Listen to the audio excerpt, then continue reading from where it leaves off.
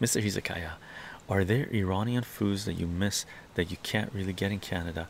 Uh, yeah, um, what's it called? That fruit, uh, zo, uh, zol, zolzalak, zolzalak, zolzalak. Oh my god, uh, zolzalak, zolzalak. It's a fruit that's like a little apple. I effing loved, loved, Mr. Hizuka, loved that fruit when I was a kid. You can't get it here.